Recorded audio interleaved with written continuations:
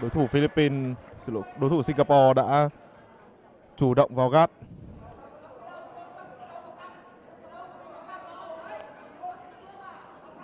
Lúc này thì Sơn, Đào Hồng Sơn vừa thực hiện một tình huống straight ankle lock tuy nhiên rất khó để thành công.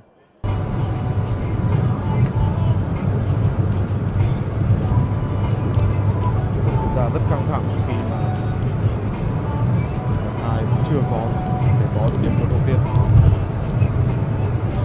Chung kết SEA Games 31 thì Đào Hồng Sơn đã chiến thắng chung kết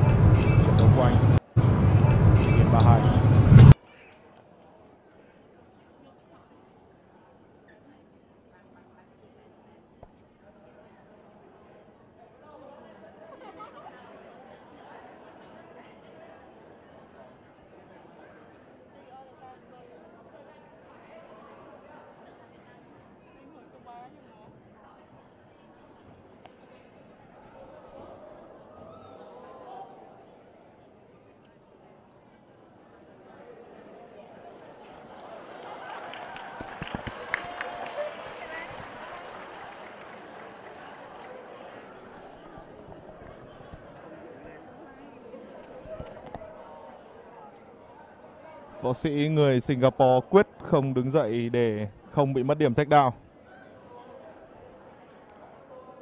Điều này là hoàn toàn hợp lý khi Đào Hồng Sơn vốn là một võ sĩ xuất thân từ judo và vật cổ truyền với khả năng thách đao rất tốt. Và một tình huống thách đao ở thời điểm hiện tại khi trận đấu chỉ còn 2 phút, chưa đầy 2 phút. Với hai điểm thách đao là một khoảng cách không hề dễ để vượt qua.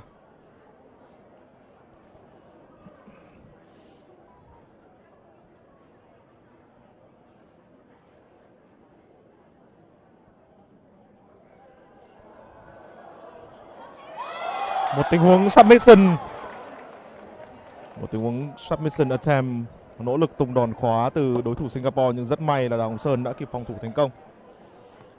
Bây giờ mỗi bên đều đã có một submission attempt, đều đã có một tình huống tung đòn siết, nhưng đều không thành công.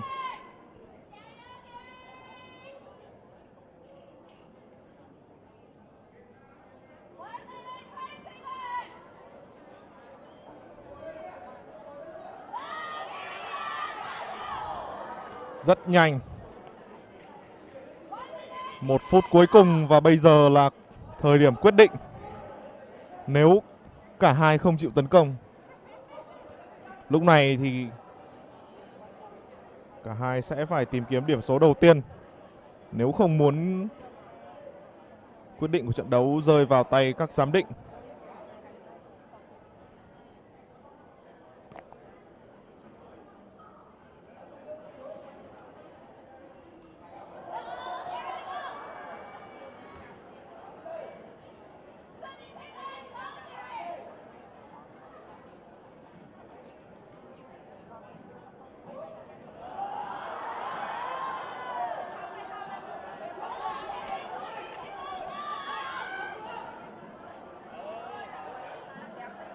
Cả hai đều chưa có điểm ship cho vận động viên của Singapore. Rất sát. Hai giây cuối cùng.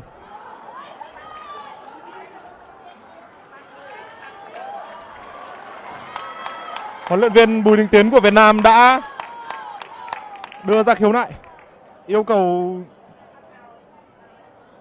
theo dõi lại trận đấu.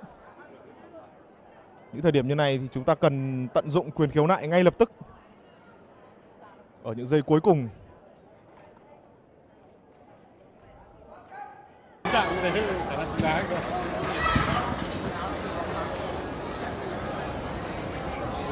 Và bây giờ là golden score. Ai có điểm trước là người chiến thắng.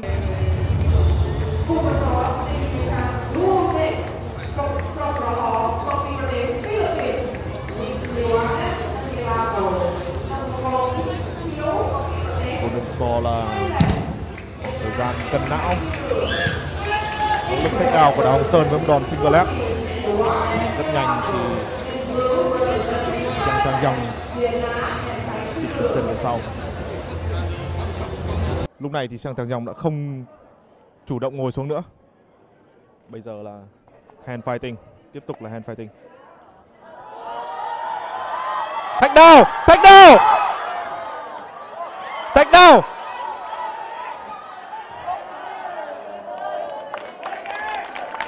rất tiếc cho đào hồng sơn khi tình huống thách đao không thể khiến cho sang teo dòng chạm lưng xuống đất. Rõ ràng ở những tình huống thách đao như vừa rồi thì đào hồng sơn là người có thể chủ động hơn. Bây giờ thì là câu trả lời của siang tang dòng.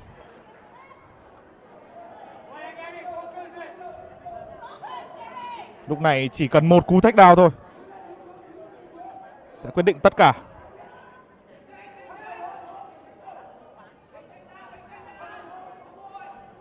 Với luật thi đấu vòng tròn của bộ môn jiu-jitsu thì một trận thắng cũng có thể quyết định tới tấm huy chương của võ sĩ.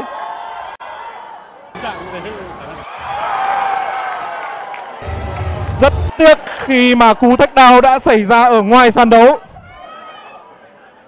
Rất tiếc cho Đào Hồng Sơn chỉ thực sự chỉ 10 đến 15 cm thôi nếu cú thách đào thực hiện sớm hơn.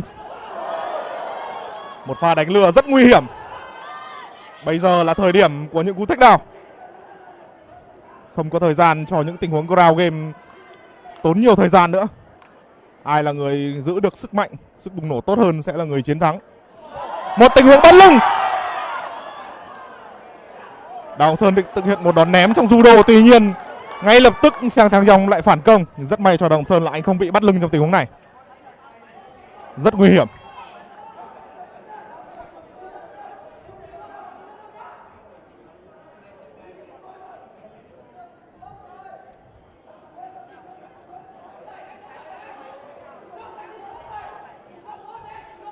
Lúc này thì sang Thang Dòng lại là người chủ động tấn công hơn. Thì liên tiếp có các tình huống hạ tấn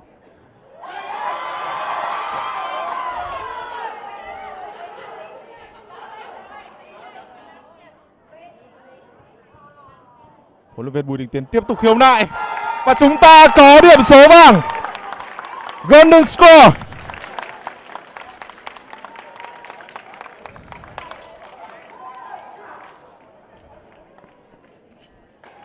Chiến thắng dành cho Đào Hồng Sơn. Một tình huống bắt lưng rất tốt.